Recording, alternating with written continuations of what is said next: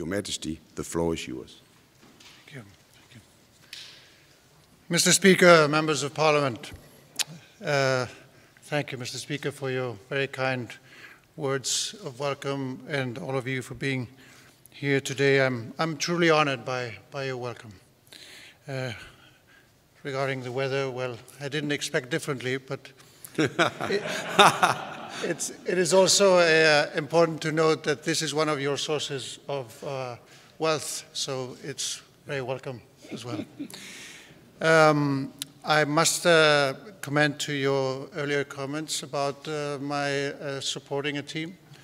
Uh, you revealed one of my widest known secrets. But, uh, and you follow uh, soccer very closely, football, uh, as, as I see by, by what you're mentioning.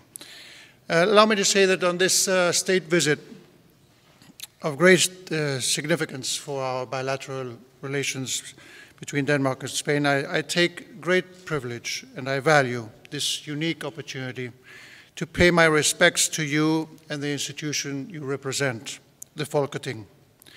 It is always particularly relevant due to the crucial importance the role of Parliament has at the heart of Danish democracy.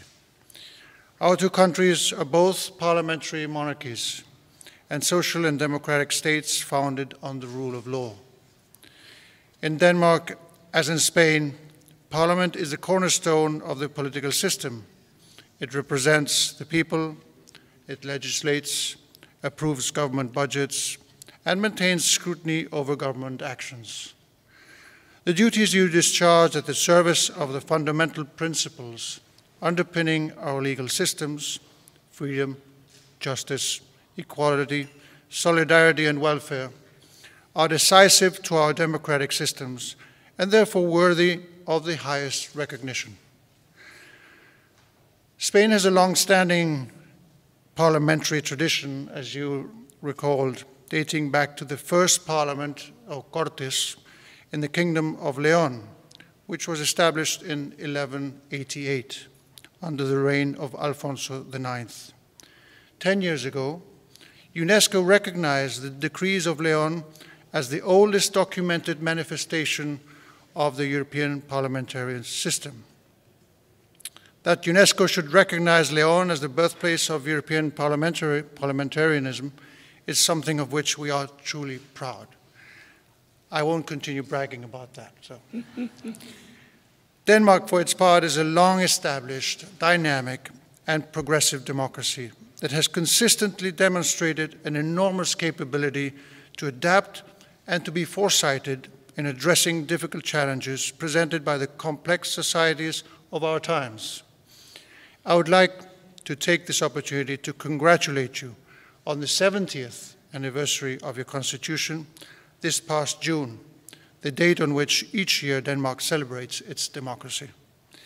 Both as fellow members of the European Union and NATO allies, Danes and Spaniards alike are unwavering in our determination to overcome the challenges of today's complex world.